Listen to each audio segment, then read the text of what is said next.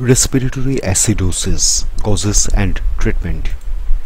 Respiratory acidosis is when breathing out does not remove enough carbon dioxide from the body and the leftover carbon dioxide causes high levels of acid in the blood. Many medical conditions and situations can lead to this chronic obstructive pulmonary disease or COPD is the name for a group of diseases that are particularly likely to cause respiratory acidosis.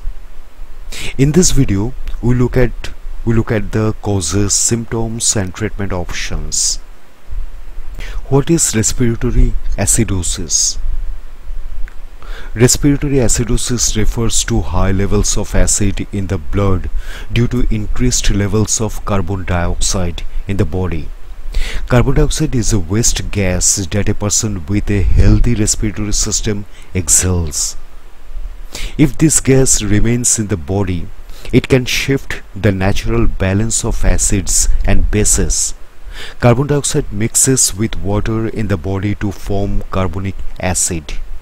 When respiratory acidosis is chronic or lasting, the body partially makes up for the retained carbon dioxide by trying to maintain a near natural balance of acids and bases. Carbonic acid dissolves into hydrogen and bicarbonate. The kidneys excrete more hydrogen and retain bicarbonate to compensate for respiratory acidosis. Respiratory acidosis can also be acute developing suddenly from acute respiratory failure.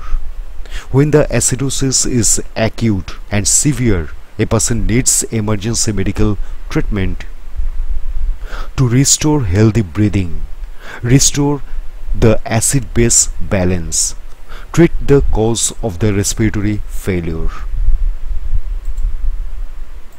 Acid-base balance and acidosis when acid levels in the body are in balance with the base levels, the potential hydrogen or pH of blood is around 7.4. A lower potential potential hydrogen or pH number reflects higher levels of acid and a higher pH number represents higher, higher base levels. The narrow pH range of expected function is between 7.35 to 7.45. Acidemia, which is highly acidic blood, occurs when the pH of the blood is lower than 7.35. Alkalemia, which is blood with a high level of base, refers to a pH higher than 7.45. Causes Doctors classify acidosis as either metabolic or respiratory depending on the main cause of the acid-base imbalance. Metabolic acidosis does not result from increased carbon dioxide due to unhealthy air exchange in the lungs. Instead, it may stem from an overproduction of acid in the body or a loss of bicarbonate among other factors. Diabetic ketoacidosis and kidney disease as well as many other conditions can cause metabolic acidosis. Respiratory acidosis occurs when breathing out does not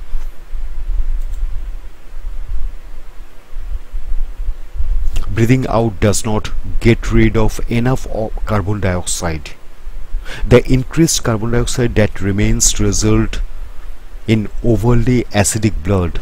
This can result from respiratory problems such as COPD. When increased carbon dioxide in the bloodstream stems from respiratory acidosis, doctors call this hypercapnia.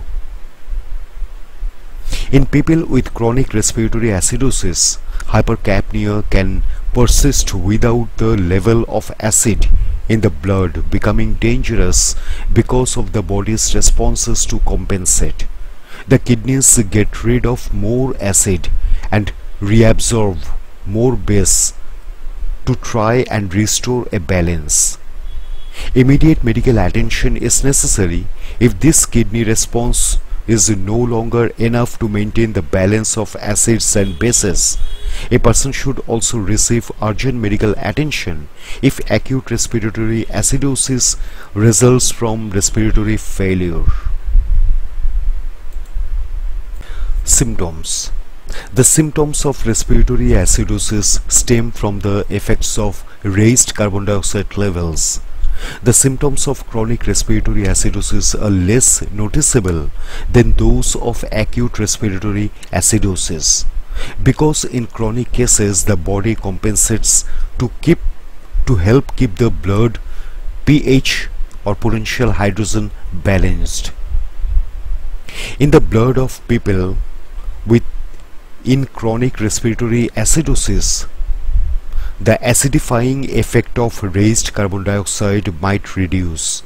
However, the compensatory actions of the kidneys are not as effective for acid levels in the brain, leading to symptoms that affect thought, sleep and memory.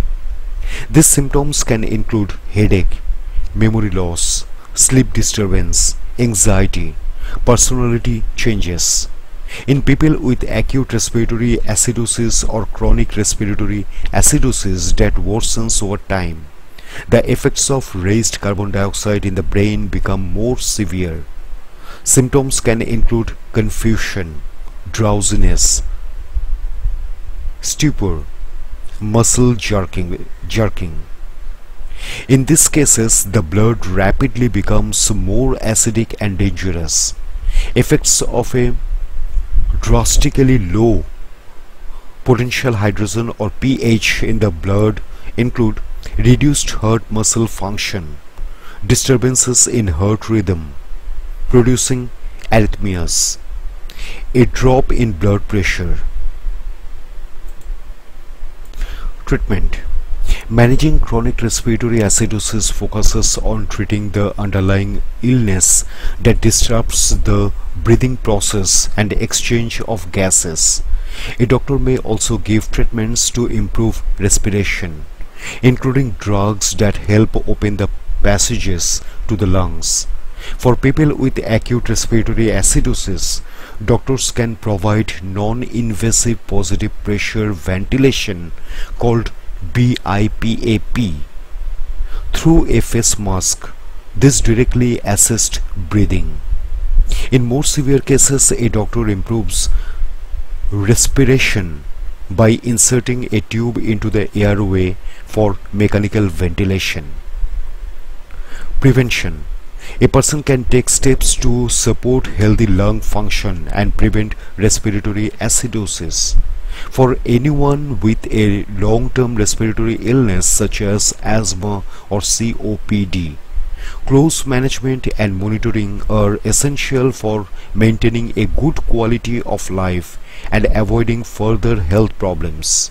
Also, for people with chronic respiratory problems, it can be important to avoid medications that reduce respiratory activity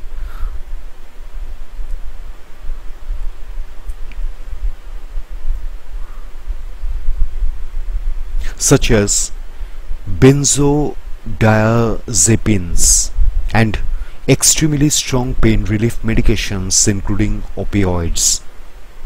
This can help reduce the risk of an acid-base imbalance developing or worsening. People who need these medications should take the smallest effective doses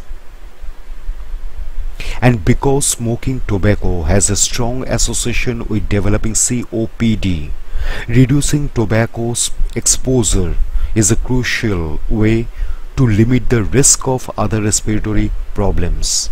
Meanwhile, obesity can reduce the ability to breathe efficiently and increase the risk of heart disease and diabetes. Having a balanced, nutritious diet and getting regular exercise benefit both the heart and lungs.